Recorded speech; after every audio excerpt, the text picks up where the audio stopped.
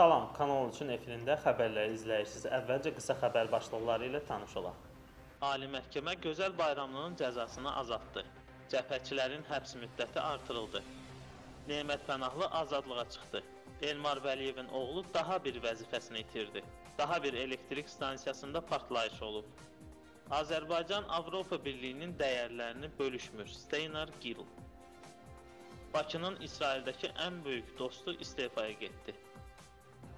Bu gün Ali Məhkəmədə Azərbaycan Xalq Cəbhəsi Partiyası sədrinin müavini Gözəl Bayramlının barəsində olan hökmdən verilən kassasiya şikayətinə baxılıb.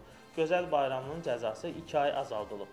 Bu gün Ali Məhkəmədə AXÇB sədrinin müavini Gözəl Bayramlı barəsində olan hökmdən verilən kassasiya şikayətinə baxılıb.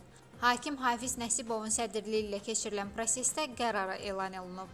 Qərara əsasən Gözəl Bayramlının cəzası 2 ay azaldılıb. Qeyd edək ki, rəsmi məlumata əsasən Gözəl Bayramlı 25 may 2017-ci il tarixində saat 22 radələrində Gürcüstandan Azərbaycan ərazisinə keçərkən Qazax rayonu Şıxlı sərhəd nəzarət buraxılış məntəqəsində saxlanılıb. Qazax rayon məhkəməsinin hökmü ilə o 3 il müddətinə azadlıqdan məhrum edilib. Dünən isə Azərbaycan Xalq Cəbhəsi Partiyası funksionerləri Babək Həsənov, Ruslan Nəsirli və Aqil Məhərrəmovun həbs müddəti uzadılıb. Bu barədə Azərbaycan Xalq Cəbhəsi partiyasından məlumat verilib. Partiyanın sədri Əli Kərimli bu ittihamların partiyaya qarşı repressiya dalğası olduğunu bildirib. Azərbaycan Xalq Cəbhəsi partiyası funksionerləri Babək Həsənov, Ruslan Nəsirli və Aqil Məhərrəmovun həbs müddətləri artırılıb. Məhkəmə mayın əvvəlində həbs edilmiş Qədəbə rayonunun keçmiş icra başçısı Salih Rüstəmov barəsində də eyni qərar qəbul edib. Bu haqda Azərbaycan Xalq Cəbhəsi partiyasından bildiriblər. Məlumata görə istintaq qurumu adı çəkilən şəxslər barəsində seçilmiş məhkəməyə qədər həbs müddətinin uzadılmasından ötürü məhkəməyə təqdimat verib. Təqdimata noyabrın 13-də Nəsimi rayon məhkəməsində baxılıb. Məhkəmə təqdimatları təmin edib. Babək Həsənov, Ruslan Nəsirli, Aqil Məhərrəmov və Salih Rüstəmov barəsində həbs qəti imkan tədbiri 7 mart 2019-cu il tarixinə qədər uzadılıb. Azərbaycan Xalq Cəbhəsi partiyasından bildiriblər ki, partiya üzvlərinin vəkilləri məhkəmə qərarını əsassız hesab etdiyindən apellyasiya şikayəti veriləcək. Qeyd edək ki, adı çəkilənlər barəsində Cinayət Məcəlləsinin bir çox maddələri ilə cinayət işi açılıb. İttihamlar sübuta yetirilərsə, onları əmlakları müsadirə edilməklə 12 ilə qədər həbs cəzası gözləyir. Cəbhəçilər ittihamı qəbul etmirlər. AXCP sədri Əli Kərimli də rəsmi ittihamı rədd edərək cinayət işinin və həbslərin AXCP-yə qarşı repressiya dalğası olduğunu bildirib. Nemət Pənahlı barəsində keçən ay inzibati qaydada verilmiş 30 sutka inzibati həbs qərarı başa çatdığı üçün o azadlığa buraxılıb. Milli Azadlıq Hərəkatının tanınmış simalarından olan Nemət Pənahlı barəsində keçən ay inzibati qaydada verilmiş 30 sutka inzibati həbs qərarı başa çatdığı üçün o saxlandığı Nəsimi rayon polis idarəsindən azadlığa buraxılıb. Nemət Pənahlı oktyabrın 12-də Nəsimi rayon polis idarəsinin 21-ci polis bölməsinin əməkdaşları tərəfindən saxlanmışdı. Bir neçə gün onun yeri haqqında məlumat almaq mümkün olmamışdı. O, Bakı Apellyasiya Məhkəməsinə 30 sutka həbs qərarından şikayət ərizəsi təqdim etmişdi. Pənahlı Apellyasiya Məhkəməsində çıxışı zamanı həbsinin siyasi sifariş olduğunu bildirmişdi. Apellyasiya Məhkəməsi isə onun 30 sutka inzibati qaydada həbs qərarını qüvvədə saxlamışdı. Gəncə şəhər icra hakimiyyətinin sabiq başçısı Elmar Vəliyevin oğlu Elmir Vəliyev daha bir vəzifəsindən istefa verib.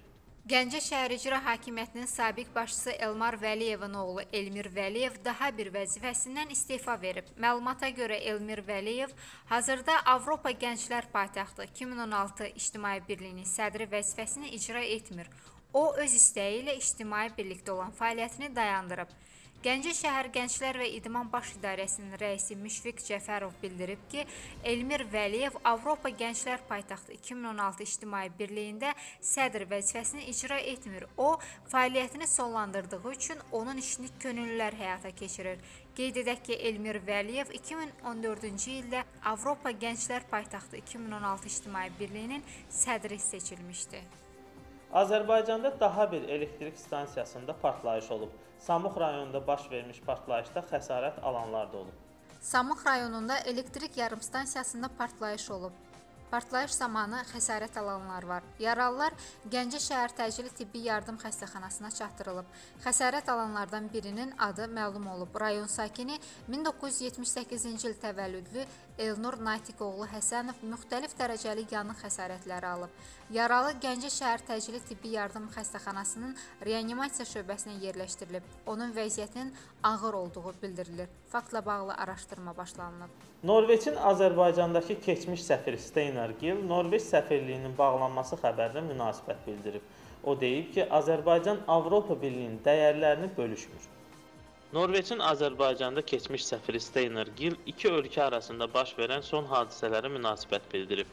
Ölkəsinin Azərbaycandakı səfirliyin bağlanıb, əvəzinə Gürcüstanda açılması barədə qərarını şərh edən diplomat bildirib ki, bu barədə Norveç Xarici İşlər Nazirliyinin bəyanatında açıq-aşkar deyilib. Gürcüstan 2012-ci ildən Osloda səfirlik açıb. Gürcüstanda biz daim rahat işləmişik. Belə ki, bu ölkədə islahatlar fəal aparılır və Gürcüstan bizim dəyərlərimizi bölüşür.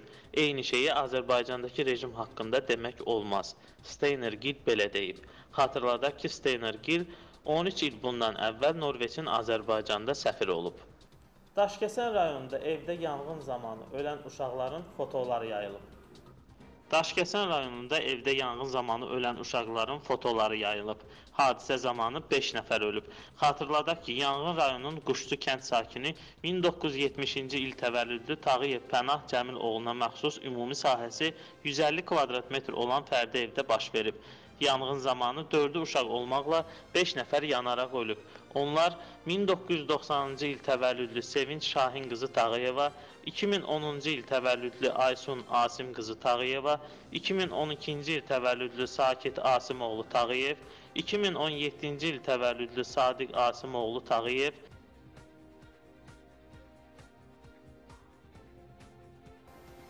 İsrail Müdafiə naziri Avigdor Liberman istefaya gedib. Libermanın istefasına səbəb kimi onun hökumətin Həmasla bağlı siyasətindən narazı olması göstərilir. İsrail Müdafiə naziri Avigdor Liberman istefaya gedib. Bu barədə məlumatı İsrailin 9-cu kanalı yayıb. Libermanın istefasına səbəb kimi onun hökumətin Həmasla bağlı siyasətindən narazı olması, İsrail Baş naziri Benjamin Netanyahu hökumətinin Misirin vasitəçiliyi ilə Qəzzada atəşkəs rejiminin yenidən bərpa olunması göstərilib.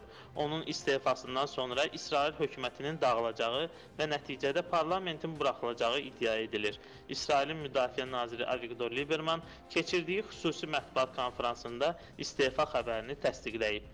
Qeyd edək ki, Liberman İsrailin əsas ideya fikir adamı və strateji sayılır. Eyni zamanda Azərbaycanın İsrail hakimiyyətindəki əsas dəstəkçilərindən biri idi. Azərbaycan Beynəlxalq Bankının həbsdə olan sabiq sədri Cahangir Hacıyevin həyat yoldaşı Zamirə Hacıyeva Azərbaycan hökumətinin müraciəti ilə həbs edilmişdi. Bunu The Guardian qəzeti yazıb. Zamirə Hacıyeva Azərbaycan hökumətinin müraciəti ilə həbs edilmişdi. Bunu The Guardian qəzeti yazır. Britaniyada hazırda izah edilməz sərvət qanununa uyğun olaraq barəsində polis təhqiqatı aparılan Zamirə Hacıyevanın mülkiyyətində olan ofşor şirkətə ölkənin iki ən mötəbər hüquq firması və Barclays Bank İsveçrə filialının xidmət göstərdiyi bəlli olub. The Guardian nəşri yazır ki, Michigan Dereya firması Britaniyanın Virgin adalarında qeydiyyatdan keçmiş ofşor şirkətə Barclays Bankın ipotekası barədə hüquqi məsləhət verib. Hazırda Britaniya Milli Cinayət Agentliyi bu şirkətlə bağlı araşdırma aparır. Zamirə Hacıyeva aid olan bu şirkət 2009-cu ildə qiyməti 11,5 milyon funt sterling olan mənzili alıb. Guardian yazır ki, bu mənzilin qiyməti Hacıyevanın və ya onun ərinin qazancından qat-qat çoxdur. Qəzetin yazdığına görə həm Barclays Swiss, həm də Michigan Dereya bu məsələ barədə şərh verə bilməyəcəklərini bildiriblər.